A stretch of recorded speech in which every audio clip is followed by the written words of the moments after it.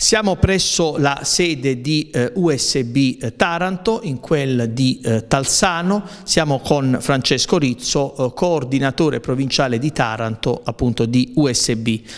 Per quanto riguarda il piano industriale di ArcelorMittal, ancora lo stesso non è stato presentato, ma eh, ci sono eh, indiscrezioni pressoché certe più che attendibili. Parliamo di eh, 3.200 esuberi, 1.800 ehm, lavoratori di Ilva INAS eh, non sarebbero eh, riassorbiti, eh, nessun ammodernamento, nessun intervento su AFO 5 e ancora una richiesta allo Stato di 2 eh, eh, miliardi eh, di ehm, euro e poi ancora altro ehm, riduzione di produzione ehm, per una soglia appunto di 6 eh, milioni di tonnellate di acciaio. Insomma, Rizzo un piano, diciamocelo, di eh, lacrime e sangue, al che viene il sospetto che ArcelorMittal stia creando tutti i presupposti per rompere. Ma più che un sospetto c'è la certezza dall'inizio, non lo, lo, diciamo da due anni. Non, non, ha fatto nulla per mantenere gli impegni e ha sempre fatto eh, tutto per dire, mettere in risalto eh, la volontà poi alla fine di, di, di abbandonare facendo i danni nella, peggiore, nella peggior maniera. eh, sono le stesse cose tra l'altro che abbiamo ribadito anche a Patuanelli il 5 marzo quando ci siamo incontrati. Il piano ufficialmente non lo conosciamo, alcune descrizioni giornalistiche che sono uscite parlano di un numero di esuberi iniziali di 3.000 che poi verrebbero aumentati a 4.000. E arriveremo a quel discorso dei 5.000 più o meno?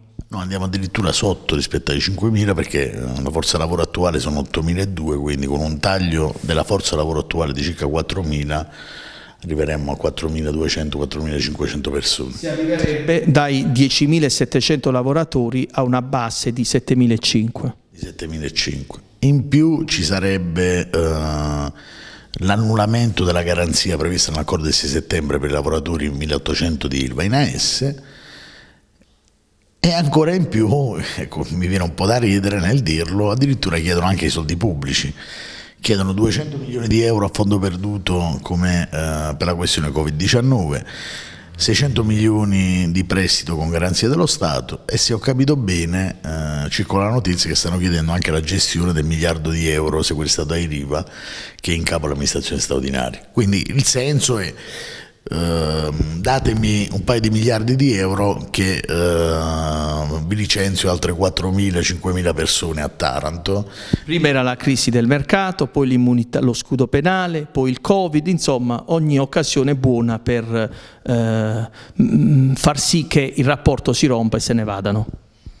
Sì, la cosa preoccupante è che malgrado tutto questo il governo oggi continua come dire o almeno una parte di governo, perché tra le altre cose che abbiamo capito pare che ci siano dire, due linee all'interno del governo, c'è chi sostiene che bisogna andare avanti con Arcelor, c'è chi invece in maniera uh, più pronunciata, come, dire, eh, come Patuanelli, inizia a far capire che si può anche fare a meno di Arcelor. È grave, io lo dico in tutta onestà, che si continui a pensare di tenere al tavolo un soggetto che di serio non ha assolutamente nulla, che a Taranto ha combinato il peggio del peggio, che ha ridotto, ha schiavizzato, perché quello è il risultato dei due anni di Arselo Rattaranto, dell'anno e mezzo di Arselo Rattaranto, i dipendenti di quella fabbrica, ha maltrattato i dipendenti di quella fabbrica, i dipendenti dell'appalto, lo voglio ribadire, ancora oggi abbiamo decine di aziende d'appalto che eh, non possono pagare gli stipendi a causa dell'atteggiamento di ArcelorMittal è una situazione, come dire, assurda che si è venuta a creare, è una situazione che secondo noi si risolve solamente in una maniera. Ecco Rizzo, vediamo un po' la vostra posizione rispetto a quella di eh, FIM, FIOM e WILM, una eh, diversa posizione, una eh, spaccatura anche all'interno del Consiglio di Fabbrica. Senti, in tutta onestà io non so se c'è una spaccatura in Consiglio di Fabbrica, almeno noi il consiglio di fabbrica non l'abbiamo né spaccato né rotto, non... Eh, siamo stati chiari dall'inizio, uh, noi abbiamo una posizione che è chiarissima, uh, tra l'altro abbiamo, secondo me in maniera molto molto responsabile, visto come dire, i drammatici momenti che stiamo vivendo, eh, abbiamo detto a tutti, non solo alle organizzazioni sindacali, ma anche a tutti quei soggetti dire, che la pensano in maniera diversa rispetto a noi, che il punto in comune oggi dovrebbe essere mandiamo via Arcelor, nel rispetto delle posizioni di chiunque. Io credo che se incominciamo a ragionare su dove arriviamo, dove atterriamo, non ce ne usciamo più, perché ci saranno quelli come noi che diranno eh, dobbiamo fare l'accordo di programma per la riconversione economica, ci saranno quelli che ti diranno chiusura subito, ci saranno quelli che ti diranno ambientalizzazione. L'unico punto in comune che potevamo trovare tutti quanti a difesa anche del, del nostro territorio, degli interessi eh, legati alla salute eh, e legati all'economia del nostro territorio, come dire, è la questione Arcelor, quindi l'allontanamento uh, di questi soggetti e dei manager che gestiscono per conto di Arcelor uh, la fabbrica. Uh, noi l'abbiamo detto in maniera chiara, l'abbiamo scritto, abbiamo anche scioperato, noi Arcelor non lo vogliamo e poi lo dico in tutta onestà, non so perché gli altri hanno deciso di perseguire un'altra strada, quella del consiglio di fabbrica unitario fra i confederali, quindi tenendo fuori gli altri.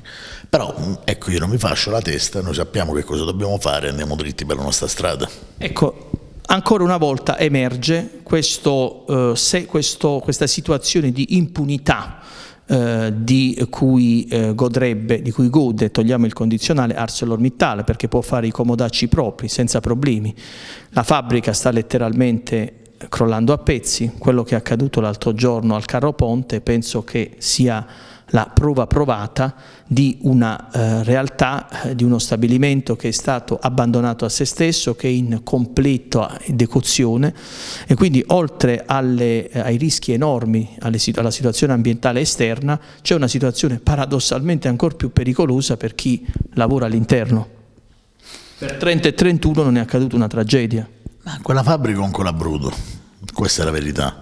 Non lo è diventata oggi, diciamo c'è stata un peggioramento drastico nella gestione da parte di ArcelorMittal. Ehm, oggi probabilmente col senno di poi lo denunciamo tutti, lo voglio ricordare, fino all'altra mattina lo dicevamo solo noi. Però questo, come dire, non serve per fare polemica, serve per dire che la condizione non è una condizione accettabile. Ed è chiaro che ogni giorno passa, ehm, e, e, e, più continua la gestione, eh, il modello di gestione di Arcelor, che è un modello di gestione di rottura, cioè teso come dire, a non mettere al posto gli impianti, a non mettere in sicurezza, a giocare eh, con la vita delle persone eh, a 360 gradi, perché lo voglio ricordare, eh? cioè, sono successe tante cose in questi 18 mesi, eh, dalla, questione, dei lavoratori in VNAS, passando per licenziamenti facili, cioè, eh, tra l'altro anche lì il governo Patuanella, Catalfo hanno chiesto chiarezza, ma nessun chiarimento è stato fatto con l'azienda con cui tra l'altro non ci sono praticamente più relazioni. Quindi un modus operandi che eh, rischia di peggiorare ogni giorno di più quella condizione e si rischia veramente di, di, di, di avere altre tragedie come quella di Cosimo Massaro l'anno scorso. E in questa situazione, in questo contesto, ArcelorMittal esclude il rifacimento di AFO 5.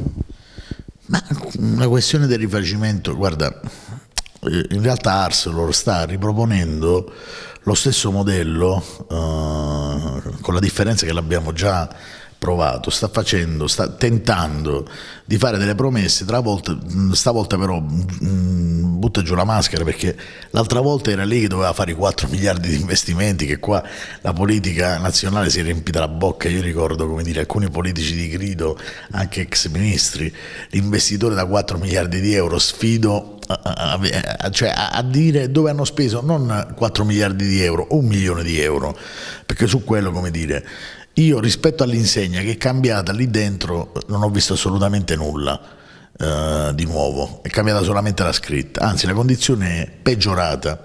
E se tu vieni dopo l'amministrazione straordinaria, quindi la gestione commissariale, che apre e chiudo parentesi, non aveva il compito politico di risollevare lo stabilimento, ma aveva il compito uh, di venderlo, la cosa è grave perché vuol dire che tu hai fatto molto meno di quanto è riuscito a farla come una gestione commissariale. Quindi c'era una volontà occulta dall'inizio eh, di sottoscrivere un accordo, probabilmente eh, ecco, di eliminare dal, mercato un concorrente diretto Tutto ciò però buttando la disperazione in una, comunità che purtroppo dire, in questo momento non è preparata no, ad affrontare situazioni di questo tipo. E qui c'è il grande handicap politico. Noi... Il territorio tarantino, le istituzioni tarantine rappresentative del territorio, non so, sembrano ammutolite, in, non dico intimorite, ma quantomeno Ehm, non hanno più la forza di reagire e chiaramente eh, noi come cittadini, voi come sindacato, eh, i, i lavoratori si sentono in balia di se stessi. Senti, il problema non sono le istituzioni locali, io la dico così, cioè al netto del fatto che Taranto è una città spaccata, frastagliata, non, cioè, è complicato anche fare la descrizione di come è fatta Taranto, no? perché poi se prendiamo riferimento Genova ti accorgi delle enormi differenze. Il, a Genova c'è il sindacato compatto, la politica che va dietro i lavoratori, c'è una serie di, di, situazioni che sono diverse rispetto a Taranto, quindi già di per sé, come dire, probabilmente è un fatto culturale, a Taranto abbiamo una serie di limiti che guardano un po' a tutti. In più c'è un atteggiamento, secondo me, della politica nazionale che è completamente sbagliato rispetto a Taranto, che ha deciso di sacrificare Taranto e i tarantini, eh, lì sì, in favore della, eh, del, del PIL nazionale, perché poi in realtà una delle tante cose che non si capisce ecco, la dico così in maniera volgare, da un lato eh, dovremmo avere gli impianti a caldi che, che inquinano, dall'altro abbiamo tutta l'area fredda di Taranto che sta tutta in cassa integrazione, cioè una cosa assurda, no? Cioè ci dicono non possiamo spegnere l'IAFO perché qui succede la tragedia, però poi tutto il pezzo a freddo che equivale a metà stabilimento, ci stanno 5.000 persone, ce l'abbiamo praticamente a casa fermo in cassa integrazione, cioè quasi come eh, si fosse operata una scelta secondo la quale Taranto e i tarantini devono subire queste circostanze eh, tra l'altro, manco lavorando più, cioè è brutto da dire, ma uno dice, vabbè, c'avevo l'inquinamento, ho un sacco di lavoro, sto compensando, cioè io la ritengo sbagliata come logica. Però almeno avrebbe una sua logica, un suo, sarebbe una... suo essere. Cioè qui invece ti stanno chiedendo di portare avanti un morto che cammina, perché lo stabilimento è morto, e ti dicono pure devi perdere lavoro, devi vivere con eh, la cassa integrazione e abbiamo fatto una città di cassi integrati e disoccupati, perché questa è diventata Taranto. In questo quadro e ritorniamo all'atteggiamento accondiscendente nei confronti di ArcelorMittal. Patuanelli dice dobbiamo contemperare la solita, sol, solito, la solita musica, la solita tiritera, eh, ambiente e lavoro, lo, lo, sanno, lo dicono pure le pietre, ma con ArcelorMittal c'è poco da contemperare e addirittura lo scienziato di Calenda, quello che ci ha portato ArcelorMittal, ci dice dobbiamo trattare con ArcelorMittal. Ma con chi dobbiamo trattare? Con chi vuole rompere? Con chi ha calpestato la dignità dei tarantini e dei lavoratori? Vabbè, questa è una delle chicche della politica nazionale, trattare, cioè noi dovremmo trattare con un soggetto che in sede ministeriale, quindi di fronte ai vertici del governo, ha preso impegni, li ha, li ha sottoscritti, non li ha mantenuti, si è preso gioco di tutto e di tutti, tra l'altro parliamo di una fabbrica, lo voglio ricordare a me stesso, che non produce solo acciaio ma produce anche tantissimo inquinamento eh, che si ripercuote tumori e morti. su, sulla, sulla, salute delle persone. E quindi oggi c'è qualcuno che ancora ha il coraggio di dire dobbiamo dire, eh, trattare con uh, Mittal. Mittal non tratta Mittal, Mittal che non fa entrare i commissari. Mittal non tratta, Mittal ricatta allora, se c'è una parte della politica, se c'è Calenda che vuole trattare con Mitre, si faccia una trattativa, si prenda l'Ilva, se la impacchetti e se la porti sotto casa, la dico così, si faccia fare lui, uh, scusami la volgarità, ma il servizietto da Mittal. Okay, perché a Taranto ce ne abbiamo le scatole piene. Il governo oggi, rispetto all'emergenza, rispetto al fatto che abbiamo il, dra il dramma eh, sanitario da un lato e si rischia di far esplodere il dramma occupazionale che è alle porte, perché noi siamo vicinissimi a tutto ciò, dovrebbe semplicemente fare un'operazione. Mettere in sicurezza quella fabbrica, cacciando via ArcelorMittal, ti prendi una fase di transizione per mettere in sicurezza la fabbrica, quindi nazionalizzandola, e lì devi aprire il ragionamento sul territorio per l'accordo di programma. Perché il problema è anche questo. Taranto, il futuro di Taranto qual è? Qual è il futuro dei nostri figli? Cioè, noi ancora pensiamo che quella fabbrica in quelle condizioni possa dare futuro, possa dare lavoro per i prossimi 15-20 anni, lo sappiamo tutti, ormai siamo arrivati. Quindi bisogna, come dire, eh, ecco, avere le spalle larghe, avere il coraggio di fare delle scelte eh, che si sono fatte in tanti altri luoghi, magari ecco, nel caso di Patuanelli che è stato l'artefice poi dell'accordo di Trieste, avere il coraggio, so che è complicato, so che è difficile perché parliamo di numeri completamente diversi, ma almeno iniziare, cioè aprire un ragionamento come dire, e iniziare a uh, dare la possibilità a Taranto di tornare a respirare e di non essere economicamente dipendente da Arso, perché l'altra cosa che si sottovaluta, domani quando quello deciderà di non pagare gli stipendi dei diretti, come sta facendo già con l'appalto, noi avremo praticamente una città che per una buona metà non avrà più reddito. Cioè, è paradossale questa storia, no? È un po' quello che sta accadendo a tutte le aziende d'appalto eh, ILVA ehm, che negli ultimi anni sono fallite o rischiano di fallire o ai dipendenti del, dell'appalto ILVA. Ci sono centinaia e centinaia di dipendenti che prendono stipendi miseri dire, e vengono pagati quando arrivano i bonifici di Arso. Quindi una condizione di estremo ricatto sia dal punto di vista sanitario che dal punto di vista dell'economia. Voi come USB i prossimi passi, i prossimi interventi, le prossime eh, manifestazioni che farete? Senti, io ti dico questo, io credo che da qui a massimo 7-8 giorni, non posso dire altro, per noi la storia è chiusa. Eh, mi viene da dire che purtroppo il detto dice se non si rompe non si aggiusta. Io credo che sia arrivato il momento di rompere, eh, perché se la politica, eh, come di nazionale... Una polmonite non si cura con l'aspirina, per capirci. Perfetto. Se la politica nazionale pensa eh, di continuare a scaricare il peso delle proprie scelte sbagliate o della propria incapacità, perché apro e chiudo parentesi, ci può essere anche questo, no? incapacità di avere progetti politici completamente differenti. Nella siderurgia, poi in campo nazionale, la cosa emblematica, Piombino, Last di Terni, Taranto, Genova, cioè abbiamo Trieste, abbiamo una condizione in cui non c'è un progetto, non c'è una linearità, cioè che ne facciamo della siderurgia? Eh, siamo competitivi a livello europeo rispetto a, a, alle grandi fabbriche inquinanti come Ilva? Io penso di no. Cioè anche lì il governo dovrebbe avere il coraggio di fare delle scelte partendo da un presupposto, che quelle scelte non possono dire, essere pagate dai, dai, lavoratori. Qui oggi il paradosso è che ci troviamo di fronte ad una parte, eh, ripeto, ad una buona metà del governo, perché mi sembra che da quanto abbiamo capito è Gualtieri quello che sostiene che bisogna ragionare e dare i soldi a Metal che dice ah boh, malgrado tutto quello che hanno fatto diamolo pure i soldi nostri per licenziare quindi dovrebbero dare i soldi delle nostre tasse per continuare a massacrare i dipendenti e i cittadini di questa città. Cioè il che sarebbe veramente veramente paradossale. Quindi per noi la storia si deve chiudere si deve chiudere velocemente lo faremo nel giro di qualche giorno costi quel che costi, perché purtroppo a un certo punto... Mali estremi, estremi rimedi. Eh beh sì, perché dopo che le hai tentate tutte, abbiamo scritto relazioni, abbiamo parlato, abbiamo, cioè, mh, qui non c'è eh, da dimostrare chi ha ragione e chi ha torto. È evidente. Qui le cose, le cose sono evidenti, sono sotto gli occhi di tutti, Um, secondo me stanno sottovalutando tutto quello che le persone stanno vivendo in termini di emozioni e soprattutto probabilmente pensano Uh, ecco, uh, mi viene da dire che c'è qualcuno che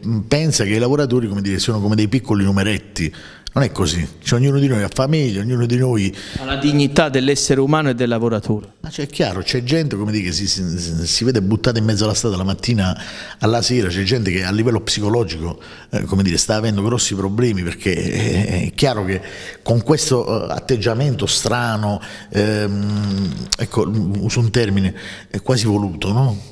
cioè alcune delle cose che Arcelor fa sono quasi volute, è facile anche prevedere, eh, eh, tu pensi alla cosa peggiore e avviene, eh, eh, quindi ho un modus operandi proprio che mira probabilmente a far scoppiare il casino, dicevi tu all'inizio, no? Che vuole Arcelor? Probabilmente esattamente quello che gli dobbiamo dare.